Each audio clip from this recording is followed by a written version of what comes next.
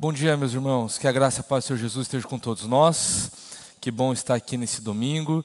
Você que está nos assistindo também seja muito bem-vindo e não estranhe a decoração. Estamos tendo a escola bíblica de férias com as nossas crianças aqui na nossa igreja, né? Não não tem não estou fazendo bico de operário aqui, com deixei meu deixei meu, meu capacete aqui. Não, não é isso. Mas então, é só para que os irmãos que estão nos assistindo online aí estejam sabendo o que está acontecendo. Está tendo a escola bíblica de férias, está sendo uma bênção.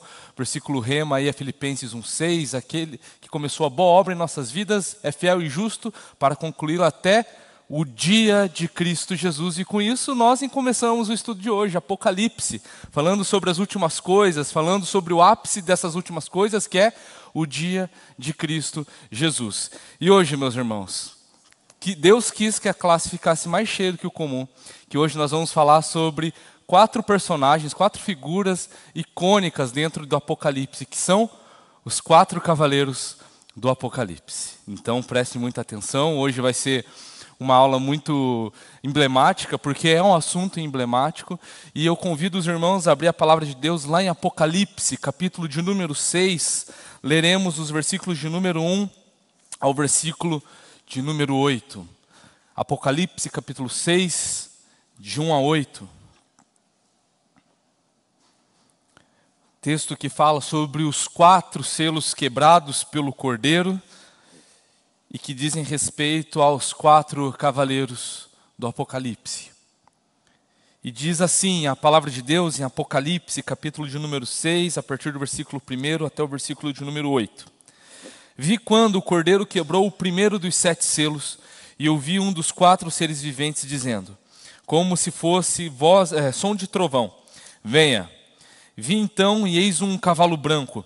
O seu cavaleiro tinha um arco, e foi-lhe dada uma coroa, e ele saiu vencendo e para vencer. Quando o cordeiro quebrou o segundo selo, ouvi o segundo ser vivente dizendo: Venha. E saiu outro cavalo que era, que era vermelho. E ao seu cavaleiro foi dado poder para tirar a paz da terra e fazer com que os homens matassem uns aos outros. Também lhe foi dada uma grande espada. Quando o cordeiro quebrou o terceiro selo, ouvi o terceiro ser vivente dizendo: Venha. Então olhei e eis um cavalo preto, seu cavaleiro com uma balança na mão. E ouvi o que parecia voz no meio dos quatro seres viventes dizendo: Uma medida de trigo por um denário, três medidas de cevada por um denário, e não danifique o azeite e o vinho. Quando o cordeiro quebrou o quarto selo, ouvi a voz do quarto ser vivente dizendo: Venha. Vi então, e eis um cavalo amarelo. O seu cavaleiro se chamava Morte, e o inferno o estava seguindo.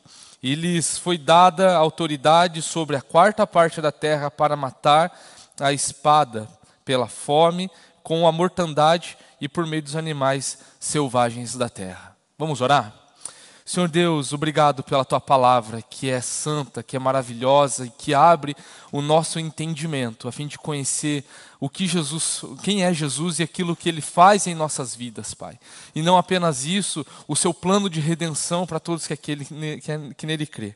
Obrigado, Deus, pela tua palavra, te louvamos e pedimos ao Senhor misericórdia por causa do, desse texto que vem falar aos nossos corações essa manhã. A Sua palavra é santa e queremos ser santos, assim como o Senhor é, porque o Senhor é o detentor de toda a palavra. Te louvamos em Teu nome, Jesus. Amém. Meus irmãos, nós vamos hoje ver sobre dar, dar continuidade sobre a segunda sessão que nós estamos vendo em Apocalipse. A grande primeira sessão foi Jesus falando com as sete igrejas da Ásia Menor. E aqui agora Jesus ele começa a mostrar essas igrejas de uma forma mais ampla, o qual é o seu plano, qual é os seus, os seus propósitos para a humanidade na qual a igreja está inserida. Então nós precisamos sempre olhar o Apocalipse com essa mentalidade, entendendo que ela contempla a igreja de todos os tempos. Ela foi dada em primeiro lugar às sete igrejas da Ásia Menor, as igrejas que a gente já viu aqui né, em estudo, né, que são a igreja de Éfeso, a igreja de Esmirna, a igreja de Pérgamo, a igreja de Tiatira, a igreja de, de Sardes, Filadélfia e Laodiceia. São essas sete igrejas que foram originalmente destinadas ao Apocalipse. Então, precisamos ter a compreensão de que tudo que foi escrito em Apocalipse precisa fazer sentido também àquela aquelas sete igrejas locais que estavam ali representando, era um símbolo de, de toda a igreja ao longo de todos os tempos. É importante a gente olhar dessa forma. Por quê? Hoje nós vamos tratar um texto que é claramente muito mal interpretado no nosso meio. É falado que o, que o, cavaleiro branco é aquele lá, ou o vermelho é aquele lá, e isso vai acontecer daqui a algum tempo, mas nós precisamos entender que Assim como os elementos, é claro, os, vários elementos estão acontecendo ao longo da, de todo o tempo, eles operam ao longo de toda a história e operam também, vão continuar operando até o futuro. Como por exemplo, a, a gente vai ver aqui que Jesus ele, ele não foi coroado, ele não vai ser coroado futuramente, como a gente viu semana passada no capítulo 5. Cristo já está coroado. Cristo é Rei dos Reis e Senhor dos Senhores. Ele não será isso um dia, ele já é. E como que isso precisa fazer sentido? Entendendo que a, Bíblia ela teve seu público original e que ela se aplica também da mesma forma, com a mesma intensidade, porque elas são as, a palavra de vida é, a, a, todos os crentes que habitam na terra e que vão continuar habitando. A palavra de Deus ela é válida para que todos se salvem, para que todo eleito de Deus se salve. Quando o último eleito for for convertido, então sim, Jesus volta. Porque Jesus ele ama a sua igreja. Apocalipse é uma carta de amor à igreja, de falar para aquelas igrejas que estavam ali sofrendo com tribulação, problemas internos e problemas externos, de que Jesus as ama, de que Jesus está com ela. Então, nós precisamos ter essa mentalidade. Então nós não podemos correr o erro de interpretar isso para o futuro. Algumas, algumas semanas, e semana passada também fiz menção a uma. A um, a um, a um, personagem aí do nosso meio, do, nosso, do nosso é, da nossa cultura, que tinha a convicção que o cavaleiro branco de Apocalipse era o Donald Trump. Da onde que ele tirou isso? Com, eu fico imaginando lá os crentes da igreja de Éfeso, por exemplo, falando assim: é, pois é, é o Donald Trump mesmo. É, com certeza, não tem erro, né? Óbvio que não, né, gente? Óbvio que não é assim. Né? Então, como que isso precisa fazer sentido? Os quatro cavaleiros de Apocalipse, a gente vai a gente vai estar tá, vai tá vendo que eles são os quatro eh, primeiros seres aqui emblemáticos sobre os atos de Jesus Cristo. A falta de compreensão do que são do que são esses elementos, do que são esses símbolos, talvez seja por causa de uma falta de compreensão do que foi falado no capítulo 4 e no capítulo 5. Vocês se lembram do que foi falado no capítulo 4 e 5? Capítulo 4, a gente vê João subindo aos céus, Jesus, depois que Jesus falou com as sete igrejas, Jesus sobe, é, João sobe aos céus, lá ele vê um trono, vê alguém sentado no trono, ali tem 24 anciãos, ali tem quatro seres viventes, no capítulo 5 tem uma multidão de anjos e tem o cordeiro que parecia que havia sido morto, e isso tudo no céu. A igreja representada nos 24 anciãos, a criação representada nos quatro seres viventes, e a gente vê adorações, canções, a gente vê pelo menos cinco canções falando sobre os atos de Deus e os atos do Cordeiro. Primeiro, lá no capítulo 4, a gente vê sobre o Deus Criador, adoração ao Deus Criador. No capítulo 5, a gente vê a adoração ao Deus Redentor. E isso personificado, simbolizado na figura de um cordeiro, que tinha sete chifres, ou seja, todo-poderoso, sete, todo, chifre, símbolo de poder. E a gente vê sete olhos, que são os sete espíritos de Deus, ou seja, a onisciência, a onipresença, que estão sobre toda a terra. O texto ele fala sobre isso. E a gente vê canções ali. E dentro dessas canções, a gente vê que o cordeiro ele é enaltecido por ter comprado para si pessoas eleitos de todos os povos, línguas, tribos e nações. Essa, esse é um ensejo, esse é o, momento que João está vendo ali, onde tem os 24 anciãos depositando suas coroas aos pés do, daquele que está sentado no trono e rendendo louvores ao cordeiro. E agora a gente vê que somente o cordeiro, que era, era o único digno de olhar e de abrir os sete selos, começa a abrir então agora cada selo. E aqui a gente vê que o primeiro selo ele fala sobre um cavaleiro branco. Mas antes de falar sobre o que significa esses atos aqui, o que são esses cavaleiros, eu sei que os irmãos estão querendo narcisos do céu. Fale logo o que são esses cavaleiros que eu não estou me aguentando. Calma. A gente vai precisar lembrar de profecias faladas no Antigo Testamento como Zacarias. Zacarias capítulo 1 e capítulo de número 6, a gente vê ali também figuras de cavaleiros. A gente tem uma série no nosso canal no YouTube falando sobre o livro do profeta Zacarias, então fica aí o dever de casa de ler o, o, essa semana o livro do profeta Zacarias, acompanhar os estudos feitos no nosso canal, fácil de achar lá. E a gente vê que existem essas figuras dos, de cavaleiros brancos, de cavaleiros pretos, de cavaleiros vermelhos e até mesmo amarelos pálidos, né? E são cavalos que estão percorrendo por toda a terra. A gente vê isso lá em Zacarias, principalmente em Zacarias 1, onde a gente vê que esses cavaleiros, esses cavalos, eles percorrem por toda, por, por, pelos quatro cantos da terra. Então aqui o símbolo do cavalo, ele, ele, é um, ele, representa a força, a velocidade, o impacto, o domínio. Né? Quando a gente fala, por exemplo, do, do, do, motor de um carro, a gente fala assim, quantos cavalos ele faz, qual é a força, qual é a potência que ele tem de, de andar. Porque o cavalo, ele é muito, ele sempre foi muito é, é, emblemático a figura do cavalo no que diz respeito à sua força, à sua tenacidade, ao seu domínio, à sua velocidade, né? Sempre foi usado e visto dessa forma.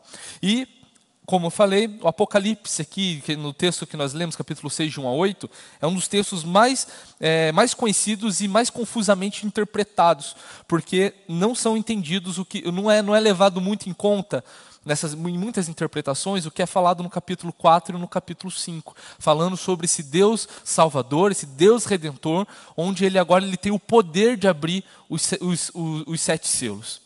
Ele tem, ele é digno disso, né? Então, que, que a gente vê no capítulo 5? A gente vê a ascensão, que é a ascensão de Cristo, a coroação de Cristo, né? Lá em Mateus 28, Jesus mesmo ele fala, é, esse texto é sempre importante retornar.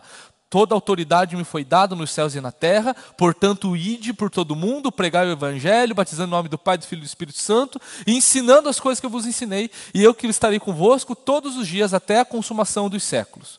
Essa é a promessa de Jesus. Quando Jesus ele fala toda autoridade me foi dada, ele fala isso depois de sua morte, de sua é, de, de, sua e logo em seguida acontecerá a sua ascensão e por causa disso, daquilo que Jesus ele morreu, ele ressuscitou e agora vai ser vai ser ascender ao céu, ele ali então nesse ato ele é coroado. Nesse ato é está logo implícito e logo junto com a missão, o id, né? Jesus ele fala: toda autoridade me foi dada, então agora vão. Portanto, vão, preguem o evangelho e batize, e os batizem, os ensinem, e eu estarei com vocês até o fim. Então, nisso, o poder de Satanás por detrás da crucificação, porque foi Satanás que possuiu Judas, não é verdade? A Bíblia fala, a gente vê o único momento na Bíblia e até hoje na história que a gente tem força para falar, que é o único momento que Satanás ele teve que agir de uma forma muito direta, uma, que ele teve que possuir alguém. O próprio Satanás, ele estava por detrás da crucificação de Jesus. Talvez ele não, eu creio que Satanás ele não sabe de todas as coisas. E ele não sabia o que, que ele estava fazendo ao possuir Judas para entregá-lo a Cristo.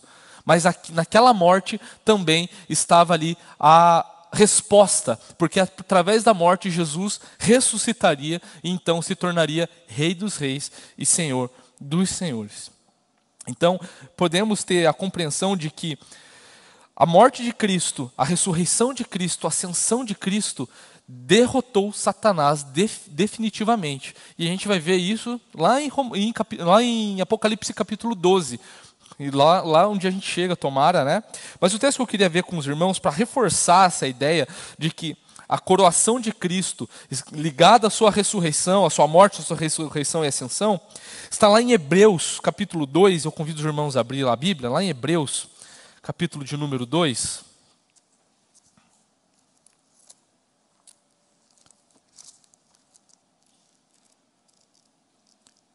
Hebreus capítulo 2, a gente vai ler os versículos 9 os, e os versículos 14 e 15. O versículo 9 de Hebreus 2 diz o seguinte: Vemos, porém, aquele que, por um pouco, foi feito menor do que os anjos, Jesus, que por causa do sofrimento da morte foi coroado de glória e de honra, para que, pela graça de Deus, provasse a morte por todos. Versículos 14 e 15. Visto, pois, que os filhos têm participação comum de carne e sangue, também Jesus igualmente participou dessas coisas, para que, por sua morte, destruísse aquele que tem o poder da morte, a saber, o diabo, e livrasse todos os que, pelo pavor da morte, estavam sujeitos à escravidão por toda a vida. O texto de Hebreus estamos falando que Satanás, ele detinha a morte. E a gente vai ver que a morte ela vai aparecer no texto que nós vamos aqui estar trabalhando hoje, né? Então, o capítulo 6 nada mais é do que os propósitos de Deus que vêm se cumprindo ao longo da história. A gente vai ver que no capítulo 6 eh, são os selos, no capítulo 7 tem um interlúdio ali, e no primeiro versículo do capítulo 8, o último selo dá o start para as sete trombetas. E aí, de novo, a gente começa mais uma sessão de Apocalipse. Nisso, a gente precisa ter a compreensão de que os selos, as trombetas, as taças que a gente está trabalhando não são é, elementos futuros, são elementos que os, os ouvintes original, originais aqui do, de Apocalipse já compreendiam, já sabiam o que eram. E isso vem se cumprindo ao longo de toda a história. Então, a gente vê que, que através dessa coroação, dessa glorificação de Jesus, Satanás é destruído, não no sentido de que ele não existe mais, mas que o seu poder está totalmente derrotado. A gente vai ver isso de novo lá no capítulo 12, a fúria e a ira de Satanás contra a igreja por causa disso, né? Mas a gente precisa compreender que os selos aqui e também outros elementos, eles são importantes para a vida da igreja. É claro, tudo em Apocalipse se cumpriu? Não, a gente não viu ainda Jesus é, coroado, a gente não viu Jesus coroado, é, é, que voltou, que Jesus retornado. A gente não viu Jesus ainda, a gente aguarda isso. A gente já. Será que a grande Babilônia, lá do capítulo 16, 17, 18 de Apocalipse, ela se diz respeito a, a, apenas ao sistema luxurioso de Roma? Claro que não. Diz respeito também a um sistema luxurioso ao longo de todo o tempo. Então nós precisamos olhar para o Apocalipse com essa visão sempre de que é, ela, ela, é válida para todos os tempos, para que todos os crentes estejam espertos, para que todos os crentes aguardem ansiosos pela vinda de Jesus. Por isso que eu digo, não eu digo, mas a palavra de Deus fala que Apocalipse é uma carta do amor de Deus para a sua igreja. Nós não precisamos ter medo. Nós precisamos entender o, o texto na sua própria literatura. E agora, meus irmãos, finalmente, vamos ao primeiro cavaleiro. Vi que o pessoal até se ajeitou na, na, na, no banco aí, né? O pessoal pelo está ansioso. E o texto de Apocalipse, capítulo, capítulo 6, versículo 1, diz: Vi quando o cordeiro quebrou o primeiro dos sete selos, e ouvi um dos quatro seres viventes dizendo: como se fosse som de trovão. Venha. Vi então, eis um cavalo branco. O seu cavaleiro tinha um arco e foi-lhe dada uma coroa. E ele saiu vencendo e para vencer. Quando nós vemos aqui, a gente vê o primeiro ser vivente, né, um dos seres viventes, a gente vai ver ao longo dos outros cavaleiros em relação a, que fala numeralmente quais são esses seres viventes, entendemos que seja o, o, aquele que era, tinha aspecto de leão. Né? E o que seria então esse cavaleiro branco? O que, que ele representa? Qual que é o seu símbolo, né? Nossos irmãos dispensacionalistas, e essa é a visão mais comum que existe no nosso meio é, brasileiro, no meio ocidental, né, a visão dispensacionalista, eles vão defender que o cavaleiro branco aqui é o anticristo. Eles defendem isso, que é o anticristo, né? Que que porque o, anticristo ele, é, ele se apresenta aqui como uma imitação, como ele parte para, é, como é, ele faz parte de outras coisas que são ruins, como a guerra, que é o cavaleiro vermelho, como o, a fome, que é o cavaleiro preto, como a, a morte, que é o cavaleiro amarelo, né? E se entende que ele faz parte também de um monte de coisas ruins ali, né? Mas o problema é que a gente vê que, assim, o, o cordeiro acabou de ser coroado, correto? O primeiro ato do cordeiro coroado seria abrir o selo para mandar o anticristo? A gente precisa fazer essa pergunta, porque ela faz todo sentido com o capítulo 5. A gente vê que o cordeiro ele, ele era o único digno de olhar e de quebrar os sete selos, e o seu primeiro selo, na sua, na sua, no seu primeiro ato de autoridade de coroação, é mandar o anticristo. Isso não faz sentido. Né? É claro, a interpretação dispensacionalista ela vai tentar embasar dizendo que significa o branco significa a falsa paz, vai dizer que a a, a, a, recebe uma autoridade que o seu arco é em relação à caçada, a fazer muitas coisas e, e, velocidade também ao longo de toda a terra, né? O problema é que o branco, ao longo em Apocalipse, mas também ao longo de toda a palavra de Deus, a gente vê que o branco ele é um símbolo de pureza.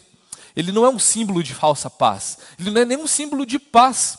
Ele é basicamente símbolo de pureza, de santidade. O sumo sacerdote, ele se vestia de branco. Os 24 anciãos, no capítulo 4, estão vestidos de branco. Né? Dentro do contexto ali, a gente vê que não faz sentido atribuir a cor branca a uma imitação de Cristo, a um inimigo de Jesus. Né? A gente vê que dentro desse contexto tem a, a, a igreja é, de Esmirna e Filadélfia ali que são é, estão passando por tribulação, né? Que estão recebem vestiduras brancas também. A gente vê também isso dentro de Laodiceia, né, melhor dizendo, que recebe essas vestiduras brancas. A gente vê os 24 anciãos com vestiduras brancas. A gente vai ver no capítulo 7, que é um interlúdio entre a sexta, o sexto selo e o sétimo selo. A gente vai, vai, vai encontrar pessoas que estão vindo da grande tribulação e que tiveram suas roupas alvejadas pelo sangue do cordeiro. Então o branco, ele é atribuído como um ato de justiça, um ato de santidade, um ato de pureza vinda do próprio Deus. A gente tem visto até o momento que o branco é atribuído dessa forma. Então, logo, por uma questão lógica, o branco ele não pode ser atribuído de outra forma, a não ser como algo que representa a santidade, a justiça, a, a pureza de Deus, né? A gente vai ver lá no cap... É, a gente vai ver também que ele vem vitorioso e para vencer, né? A gente vê que existe essa ênfase, vitorioso e para vencer, dando a ideia de que é uma vitória definida, uma, uma, uma vitória correta, né? A gente vai entende, é, é, os dispensacionalistas, melhor dizendo, entendem que essa vitória é dada, é, é, é dá, dá margem para que seja o anticristo, porque lá no capítulo 13, versículo 7, vai ver que ele, o anticristo, a besta, né, ela pelejou contra os santos e os venceu. A gente vê isso lá no capítulo, no versículo 7. Né? E depois, até o versículo 9, a gente vê que quem adorou a besta foram aqueles que não, não tinham o seu nome escrito no livro da vida. Versículo 8, melhor dizendo. Não tinham o seu nome escrito no livro da vida. Né? Lá no capítulo 20, a gente vê que esses que não adoraram a besta são aqueles que estão salvos, estão reinando com Jesus. Né? Então não tem como dizer que dá essa ênfase, de, saiu vencendo e para vencer, alguém que a gente vai ver lá no capítulo 19 sendo derrotado, sendo morto, definitivamente. Então a gente vê uma ênfase aqui, né, de uma vitória correta. E a vitória do anticristo, isso a gente vê em, em 1 e 2 Tessalonicenses, a gente vê isso é, em, em, Apocalipse 13, é, a gente vê em Apocalipse 19, que é uma vitória que é breve, é só por um tempo, e que Jesus ele vem definitivamente. Mas a ideia principal é que Satanás e seus aliados, a gente vai ver o anticristo, a gente vai ver o falso profeta, a gente vai ver a grande meretriz, a gente vai ver a morte aqui, por exemplo, né, que a gente vai falar sobre ela hoje, e o inferno, a gente vai ver que esses elementos, esses aliados de Satanás em Apocalipse, eles não têm vitória eles são mostrados como derrotados no final das contas. Então a gente não pode atribuir um termo tão importante como esse a alguém que será derrotado, senão perde todo o sentido da literatura. Não faz, teria que ter sido usado outro termo, e a Bíblia ela é inerrante. Ela não pode ter errado aqui. Então também não pode ser Cristo, não pode ser Cristo, porque é, como que Jesus ele está abrindo o selo e está saindo de dentro do livro ao mesmo tempo. Então não pode ser, ser, é, ser Jesus aqui. Né? Se fosse Jesus, ele também estaria obedecendo a voz do primeiro ser vivente ali, no capítulo, no, no, versículo de número 1. Ele estaria se subordinando a, um, a alguém que está representando parte da criação. Então não tem como ser Jesus aqui. Jesus ele está mandando, ele está tendo esse ato aqui, aqui né? Essa arma aqui que é apresentada, o arco, né? Também não é compatível com a figura de Jesus lá no capítulo 19, que vem com uma espada. que a gente vê lá em, em Hebreus, né, capítulo 4, que é, que é a palavra de Deus. Né, a gente vê isso ao longo de todo o Novo Testamento. Então, a arma que é dada a Jesus, é atribuída a Jesus para agir, é uma espada. Essa coroa aqui, que a gente vê que o, que o cavaleiro branco ele, ele usa, ele tem um arco e foi lhe dado uma coroa, ele é, é a mesma palavra que é da coroa que é dada para os 24 anciãos. Ele é um símbolo de realeza. E é interessante aqui a gente é, perceber que as igrejas de Esmirna e Filadélfia, as, as promessas por elas se manterem fiéis até o fim, é receber a coroa da vida.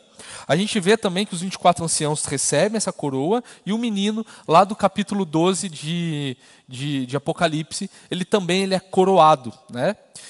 Mas existe dois tipos de coroação aqui em Apocalipse. A coroa, que é o símbolo da coroa, e o símbolo do diadema. O diadema ele é como se fosse uma tiara, ele é, como se fosse, é um símbolo real, ele, ele transmite é, realeza também, é, mas ele mostra de um, de um outro aspecto. Né? A gente vê, por exemplo, que no capítulo 12, o, o dragão que está perseguindo a mulher grávida, que quer acabar com o menino, ele, ele está com diademas. A gente vê também que a besta, o que é o anticristo, como resposta da fúria do dragão contra a mulher, é, a besta também está coroada com diademas. Só que no capítulo 19, a gente vê que Jesus, quando ele está voltando, Jesus ele utiliza de diademas. Ou seja, o diadema aqui ele não pode ser utilizado de uma forma que é, seja algo ruim ou uma imitação, mas ele, pode, ele deve ser visto como um símbolo de autoridade. Porém, a coroa ela, pode, ela deve ser entendida como um símbolo de glória.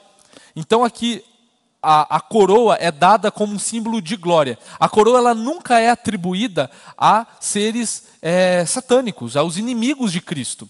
Mas os diademas, por um momento, recebem autoridade. A gente vê isso na narrativa, de, na narrativa não, no, no texto de, de Apocalipse mesmo, a gente vê que a, a coroa ela toda hora está, está dentro do contexto de realeza, de coroação, isso tanto na igreja, nos 24 anciãos, como ao cordeiro aqui. Né?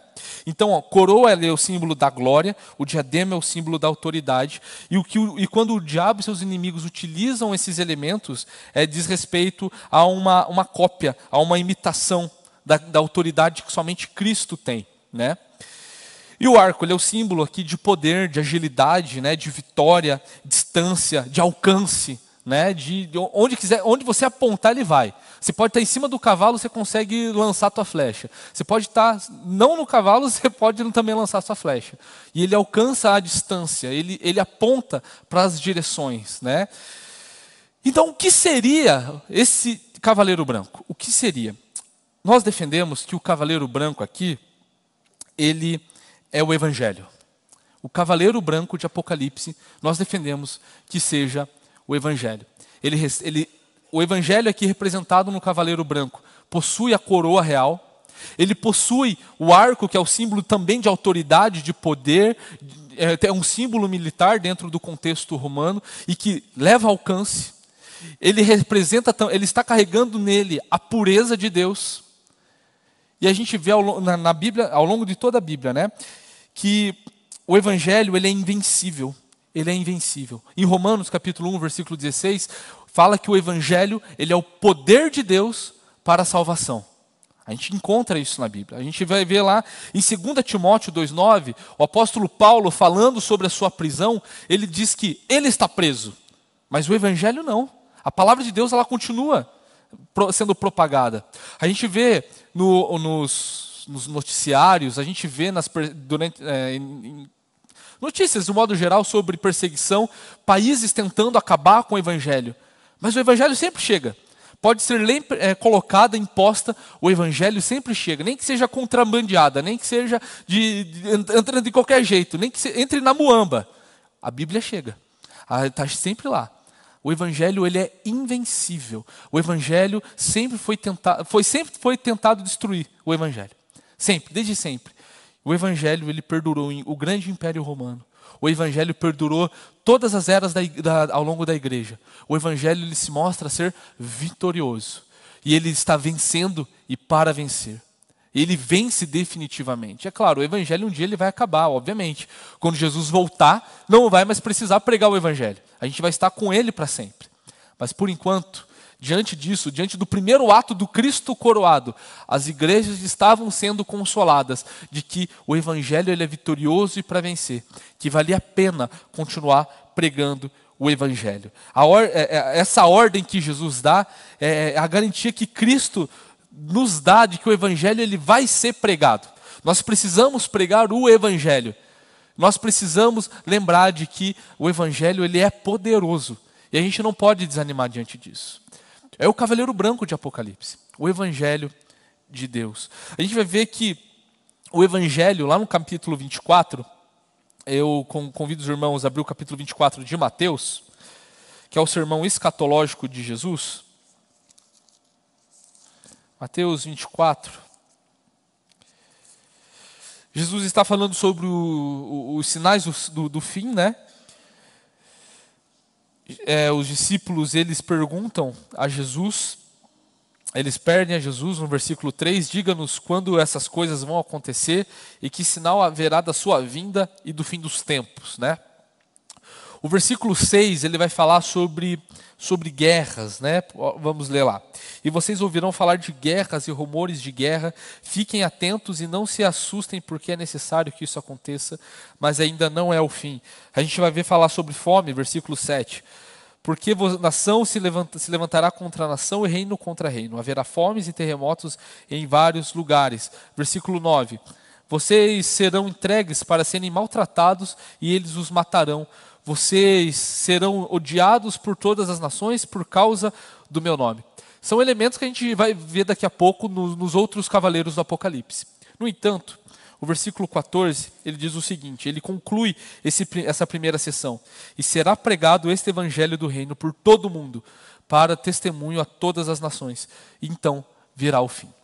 Então o evangelho, ele é o poder de Deus. Jesus está falando que o evangelho será pregado por todo o mundo.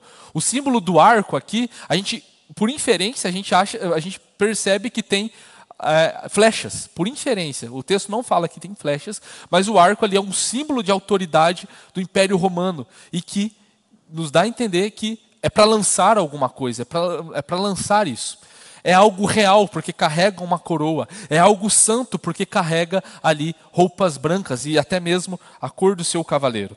Então nós precisamos entender, e, e, e de fato, não pode ser Cristo, porque Jesus estaria se subordinando a um ser vivente e estaria lhe se enviando, saindo do livro, quebrando o selo e saindo do livro. Não tem como, né? Não é lógico isso. Então, por definição, o cavaleiro branco é o evangelho. Não é o Donald Trump, olha só, não é o Donald Trump é o Evangelho. E nós podemos ficar seguros e tranquilos nisso. O Evangelho da paz, que traz paz ao mundo, que traz paz àquele que se arrepende, paz de espírito. Mas existem os outros cavaleiros, e a gente vai dar sequência aqui. O versículo, versículo 3 e 4, a gente vê que o segundo ser vivente, ele ele, quando o cordeiro né, quebra o, o, o, segundo selo, o segundo ser vivente desvenha, né?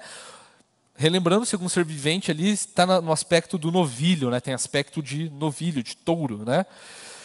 E aqui a sua cor ele é, é vermelho. Essa cor vermelho aqui, ela, ela em grego, ela, ela, ela fala, ela é piros, piros, é a mesma cor de, de fogo. Ela tem a ver com fogo. Ela literalmente significa cor do fogo. Quando a gente vai ver lá em Apocalipse capítulo 12, versículo 3, na descrição do dragão, a gente fala um pouco aqui sobre os diademas, né? Ele possui sete cabeças e sete diademas, e a sua cor é, é vermelha. E é a mesma cor aqui, é, o mesmo, é o mesmo, a mesma nomenclatura que é usada no original com, com um dragão. Então nós vemos aqui que essa cor ela já é atribuída a um ser é, a, a, a, um ser que está ligado com o poder de Satanás aqui. Né? Então a gente vê que o fogo, a, o vermelho é a cor do fogo, é a cor do dragão de Apocalipse 12. Né? E o texto nos fala aqui que é a falta da paz. Né? Ele veio para tirar a paz da terra e fazer com que os homens matassem uns aos outros. Né? Ou seja, na recusa do evangelho, o, o, o que resta para a humanidade é a destruição. Quando a gente não segue o Evangelho, quando a gente não vê o Evangelho em primeiro lugar e nós recusamos isso, o que nos resta é a destruição. E nós precisamos, com toda certeza, olhar para o Evangelho, que é a primeira coisa mostrada, é o primeiro ato é, feito, consolidado pelo Cordeiro, mostrado às igrejas. É necessário que se olhe primeiro para o Evangelho, porque senão o que vai sobrar? Vai sobrar guerra, vai sobrar morte, vai sobrar fome. E nós não podemos é, ignorar o Evangelho. Quando nós desprezamos o evangelho, o evangelho, nós não andamos segundo a vontade de Deus. Nós estamos sujeitos às mazelas desse mundo. Nós estamos é, vulneráveis àquele leão que está ao nosso derredor pronto para nos tragar. A gente cede ao, ao poder de Satanás. E nós começamos a odiar os nossos irmãos. Nós começamos a causar mal uns aos outros. E isso é inadmissível para o povo de Deus. É claro que o texto aqui também está nos dizendo que dentro dessa recusa do evangelho, que os ímpios, né, a gente sabe que quem recusa o evangelho é ímpio, ele personifica o mal que se opõe a Deus, à sua palavra e ao seu povo. O texto ele não é, é, é, ele nos fala também sobre um conflito geral. Claro, a gente ouviu ao longo de todo desde, desde, a, vinda de, desde a primeira vinda de Cristo até a segunda vinda, quantos rumores de guerra a gente já ouviu? No século passado, a gente passou pelas duas principais e piores guerras que a história já viu, nunca tinha visto antes: a Primeira e a Segunda Guerra Mundial. A nível de morrer milhões de pessoas milhões. Isso em um século. Ao longo de toda a história, a gente viu guerra, e a gente viu morte. A gente viu ali a falta e a recusa de obedecer o evangelho na prática, que é a destruição de uns dos outros, uns dos outros. Então, se não for Jesus, se não for o Espírito Santo que opera através do evangelho, que nos convence do pecado, da justiça e do juízo de Deus, nós estamos fadados a isso, a nos destruir uns aos outros e também é, a, a, a odiarmos uns aos outros. Como falei antes, os ímpios, eles recusam o evangelho. Eles não apenas se matam, mas eles procuram destruir a igreja. Porque eles também estão investidos com, esse, com essa cor de fogo que Satanás tem. Nós precisamos olhar para o cavaleiro vermelho e entender que nós não podemos subestimar o poder da falta do evangelho na nossa, na nossa vida. A gente não pode desprezar o mal que existe no mundo e que somente o Evangelho que vem em primeiro lugar veio para vencer. E nós precisamos olhar dessa forma, com toda certeza. E aqui fala, claro, sobre um conflito geral, claro. Isso precisa fazer sentido à igreja do às igrejas do Apocalipse. Quando Jesus está falando com a igreja de Filadélfia, Jesus ele fala ali no capítulo no versículo capítulo 3, versículos 10 e 11, sobre a provação que virá sobre o mundo todo. A provação que virá sobre o mundo inteiro. E a, e a, igreja também estará sujeita a isso, mas será guardada. E lembrando, aquela era uma igreja fiel, que pregava o evangelho. A gente viu aqui, os irmãos se quiserem, pode recapitular, está no nosso canal no YouTube. A igreja de Filadélfia, ela era fiel ao evangelho, mas também estava sujeita a essas mazelas, mas se mantinha fiel se manteve fiel, e a sua promessa a ser recebida era a coroa da vida, a nova Jerusalém. Então, nós não podemos andar dispersos. Nós estamos sim sujeitos ao, ao, conflito geral que existe no mundo todo, mas a gente precisa entender que essas, que, que, que esse cavaleiro vermelho, ele atenta principalmente contra a igreja. A gente vê a cor de Satanás nele, e Satanás odeia a igreja. O cavaleiro preto, ele ele, ele, ele é enviado pelo. Ele é chamado pelo terceiro ser vivente, que tem um aspecto de homem ali no versículo 5 a 6. E geralmente ele é interpretado como a fome, né? E está certo, não, é, é, uma, é uma boa interpretação trabalhar ele como, como a fome, né? E aqui a gente vê que ele, ele, ele, ele tinha uma balança na mão, né? A balança é o símbolo do peso, né, da, da, da, da justiça, da, da, da, igualdade, da equidade. Né? E aqui, mas o contexto nos fala que diz respeito a, um, a, a compra, a comida, a alimentação. A balança também era usada para comprar comida no mundo antigo, né? era um símbolo muito comum, as pessoas viam isso direto. E o versículo 6 ele, é, ele, ele, é emblemático, porque ele fala assim: E ouvi que parecia uma voz do meio dos quatro seres viventes dizendo, ou seja, Essa ordem estava vindo do trono de Deus, estava vindo talvez do Cordeiro. A gente precisa aprofundar mais no texto bíblico para a gente compreender melhor o que quem é que está falando aqui, né? Mas ela veio do meio dos quatro seres viventes, dizendo que é, o versículo da, da, continuidade, uma medida de trigo por um denário, três medidas de cevada por um denário, e não danifique o azeite e o vinho. A gente vê aqui que essas ordens, esses selos, eles são quebrados por Jesus. Jesus está no controle de todas as circunstâncias. Não são acaso. A guerra, a fome, a morte, a gente vai ver na sequência, não são, não são acaso, mas estão debaixo do controle e do domínio de Jesus. Né? E aqui a gente vê que existe uma ordem vinda diretamente do trono, diretamente do, do meio dos quatro seres viventes, melhor dizendo. E a gente vê que existe um, algo que diz respeito a um preço excessivamente inflacionado.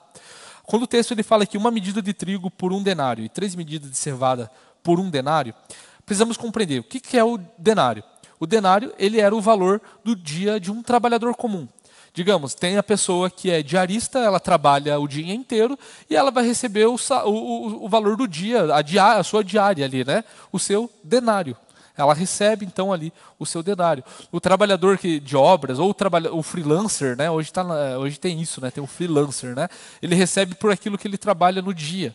Né? Então, o denário ele é o preço, ele é o valor em moeda referente ao trabalho de um dia. Agora pensa, o trabalho de um dia de uma pessoa você consegue comprar um punhadinho de trigo. Quanto está o quilo do trigo? Alguém? Eu não, agora não lembro três e pouquinho. Agora imagina pagar assim uns 100 reais num quilo de trigo. Seria tipo isso. Seria essa mais ou menos a representação, né? É, é essa lógica. E a cevada e o trigo eram, eram a, a comida do pobre naquele contexto, né? Então pensa, a comida do pobre estava custando um punhado, um denário, trabalho de um dia. Imagina, então imagina o que, o, que, que o, o, o, terror que esse cavaleiro estava trazendo ali. E é interessante que a, a, a, essa figura monetária era muito comum ali e era muito fácil de compreender, principalmente dentro da igreja de Esmirna, de Pérgamo, de Tiatira e de Filadélfia.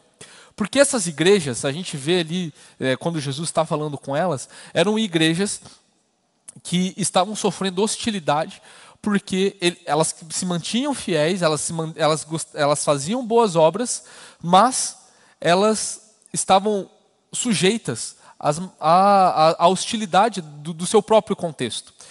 Naquele momento, isso, isso foi falado em aulas, que você para você se dar bem na sociedade, você tinha que participar dos rituais pagãos da sociedade. Você tinha que estar junto com votando e exercendo influência junto com o paganismo, junto com aquilo que Jesus falou algumas vezes que odiava. Por exemplo, a obra dos Nicolaitas é um desses, né? A gente vê que dentro do Império Romano existia essa oferta. Olha, para você se dar bem na sociedade, você tem que fazer aquele ritualzinho ao Deus Baco porque Ele que nos traz é, fortunas, é Ele que nos traz fidelidade. E se você quiser ficar bem mesmo, você ainda adora, você ainda não apenas participa, mas está ali totalmente integrado na vida da sociedade em, em relação a esse falso Deus. Essa era a proposta oferecida a esses contextos. Mas a igreja de Esmirna recebe elogio, Pérgamo recebe um elogio, Tiatira recebe um elogio, né? Filadélfia recebe elogio. Pérgamo e Tiatira tinham problemas mais internos, né?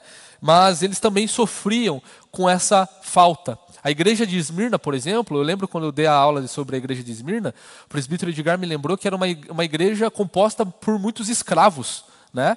Era uma igreja que tinha, eram pessoas que estavam diretamente trabalhando com outros e que não poderia falar simplesmente não quero participar, né?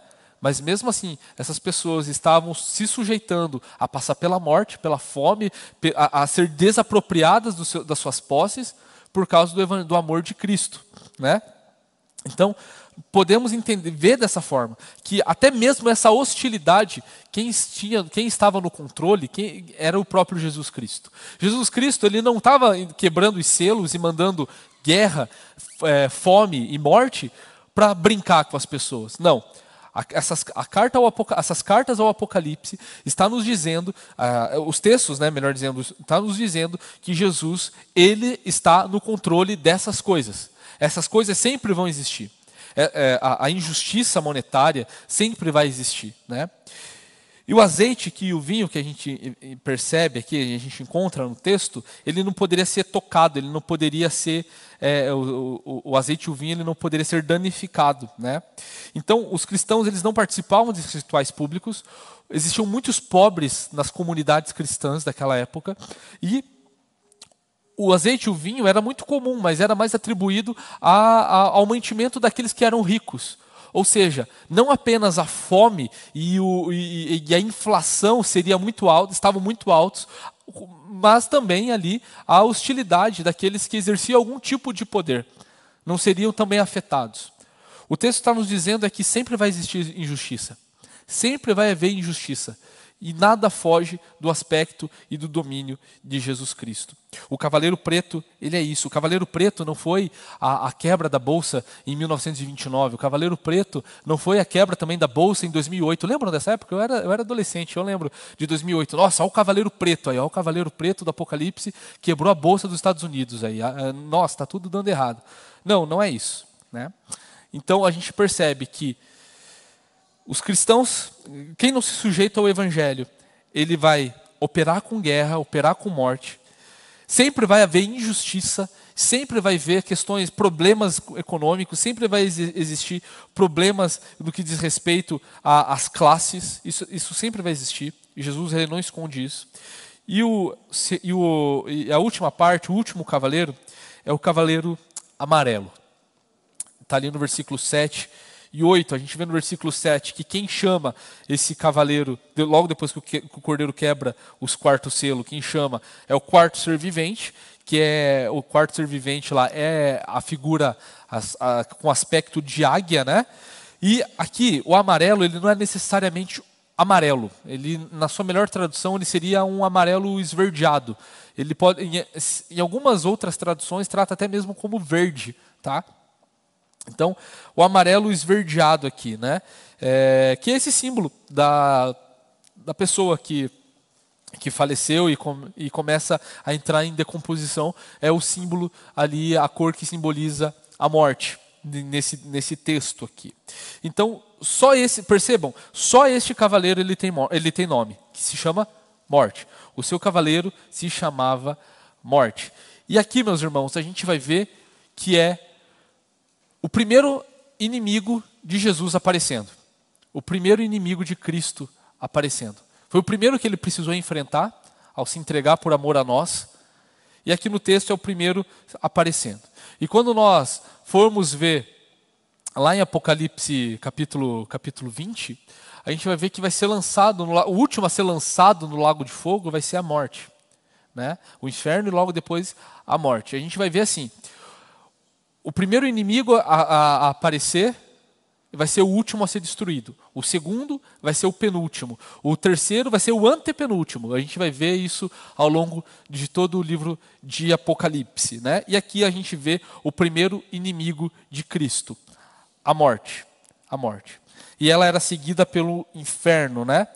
Que é o Hades aqui, que é a habitação dos mortos, e diz respeito a um, ao lugar onde os mortos que, não, que, que são ímpios estão esperando ali para a condenação eterna. Esse é o sentido de inferno, de Hades aqui, né? E é interessante que lá no capítulo 1, versículo 18, Jesus ele se apresenta, ele se apresenta como aquele que detém as chaves da morte e do inferno. E aqui novamente a gente vai ver a morte seguida pelo inferno, né? E lhes foi dada autoridade sobre a quarta parte da terra para matar a espada pela fome, a, gente, a espada, né, matar a espada, a gente viu ali no, no segundo cavaleiro, pela fome, pela mortandade e por meio dos animais selvagens da terra. Então, recapitulando ali também um pouco do que os outros cavaleiros haviam feito. E aqui também, só um parênteses, nos dá mais base para nos dizer que o cavaleiro branco não é, não pode ser algo do inimigo, não pode ser o inimigo de Cristo. Ele tem que ser algo diferente, porque ele não é citado aqui junto com o cavaleiro amarelo. Então, então foi dada, essa ação aqui, ó, foi dada né, a, a autoridade. É um ato de Deus. Né, é um, e isso era um conforto para os cristãos daquela época que estavam presenciando a, a morte dos seus parentes e que logo provavelmente experimentariam a morte, de que até mesmo isso estava subordinado ao poderio de Senhor Jesus Cristo, de que nem a mesma morte teria poder sobre a vida deles. E é dado ali então quatro instrumentos, né, sobre é, para destruir a quarta parte da terra, né, a espada, a fome, a mortandade e as feras. Quando a gente vai ver lá em Ezequiel capítulo 14, abrir lá rapidinho, Ezequiel capítulo 14, versículo 21, vai dizer o seguinte: Porque assim diz o Senhor Deus, quanto, for, quanto pior não será se eu enviar aos meus quatro, os meus quatro piores castigos. Isso é, a espada, a fome, os animais selvagens e a peste contra Jerusalém, para eliminar dela pessoas e animais. A gente vê aqui que são quatro instrumentos do castigo de Deus para que ele traga justiça ao mundo. Né? Isso sempre vai estar ao nosso derredor. Isso sempre vai existir. Isso não é eterno, isso é por enquanto. Tem uma música que eu gosto bastante que na letra fala toda dor é por enquanto. E a gente consegue compreender isso biblicamente. O número 4 aqui, obviamente, a gente precisa recapitular isso. A gente vê que o quarto cavaleiro tem autoridade sobre a quarta parte da terra e ele opera com quatro, com quatro instrumentos e a gente lembra que o 4 aqui é um símbolo de totalidade no que diz respeito à criação. Né, os quatro seres viventes, né, as, as quatro atribuições, as etnias, né, povos de toda, é, pessoas de todos os povos, tribos, línguas e nações. A gente vê que o número 4 ele é atribuído às coisas criadas.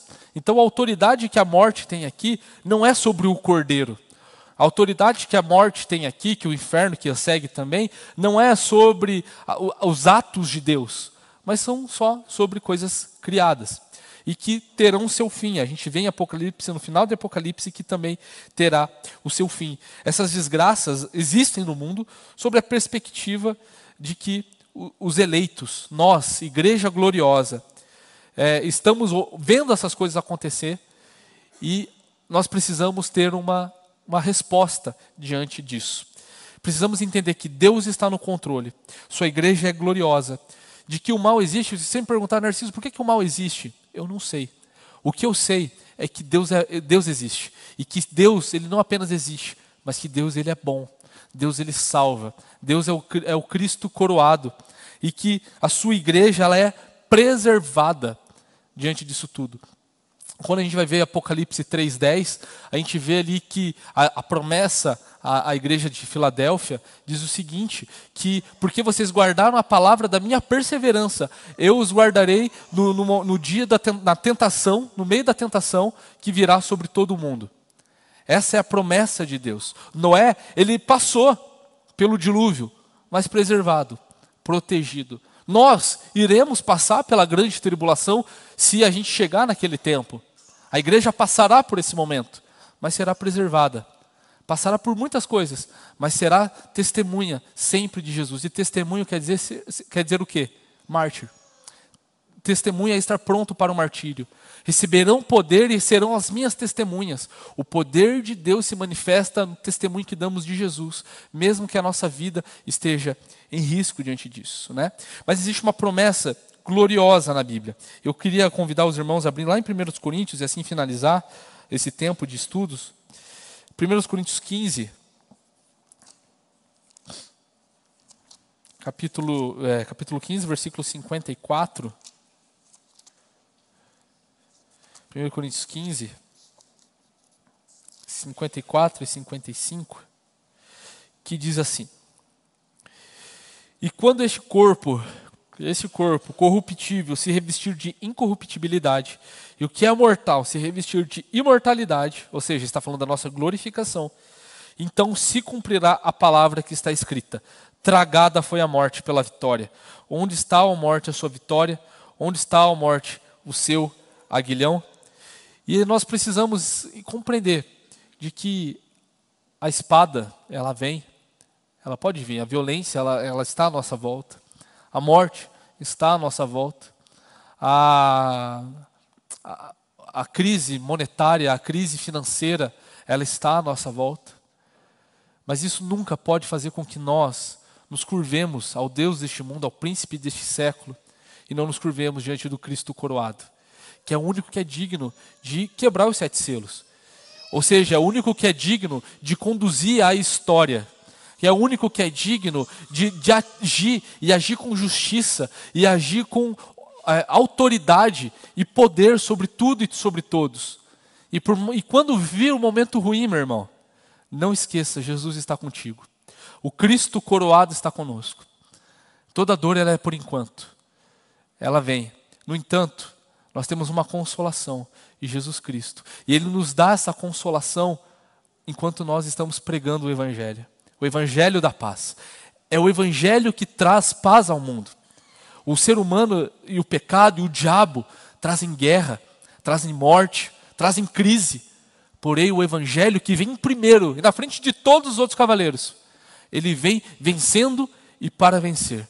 E por causa de Jesus e por causa desse Evangelho, Jesus nos, nos, declara mais que vencedores, porque nós estamos com Ele. Passaremos por momentos difíceis, com certeza. A Bíblia nunca escondeu nisso. Se a Bíblia escondesse isso, a Bíblia seria uma mentira.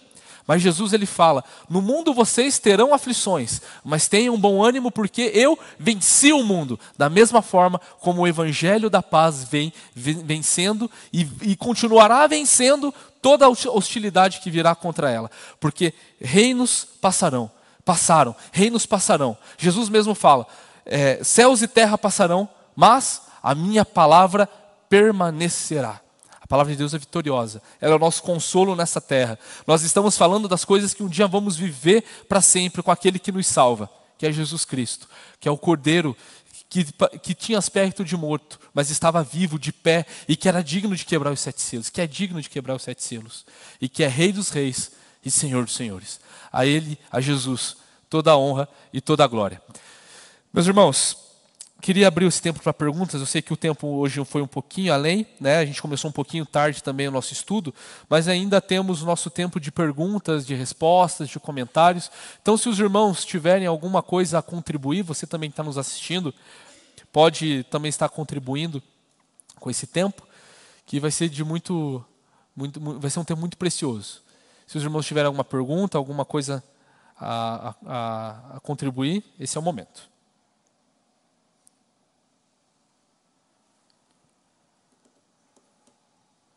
Gente, são os quatro cavaleiros, aproveita. São os quatro cavaleiros. É o momento.